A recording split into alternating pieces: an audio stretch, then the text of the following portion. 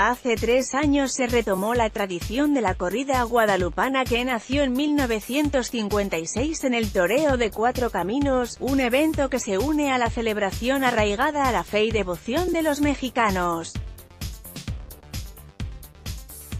El año pasado la corrida se convirtió en un festejo taurino a beneficio de los damnificados del sismo que sacudió al país y con el que el Fideicomiso Fuerza México se comprometió a ayudar a las familias de la comunidad de Tlayacapán, Morelos, donde ya fueron entregadas 65 casas.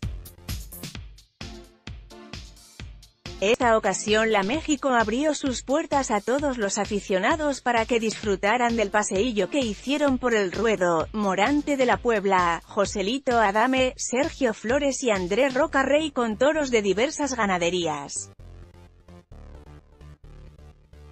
CDEX peregrinos con todo y mariachi ya visitan la villa a su llegada, los asistentes como Lula Sámano, Raúl Salinas, Juan Ramón de la Fuente, Ramón Neme, Justino Compeán, entre otros, quienes vistieron muy ad hoc con sombreros, botas, jeans, chamarras de cuero y flecos fueron recibidos con un grupo en vivo que amenizó la tarde minutos antes de la corrida. Además cuando se dirigían a sus lugares disfrutaron de la exposición pictórica El hombre frente al toro, del artista Chamejara.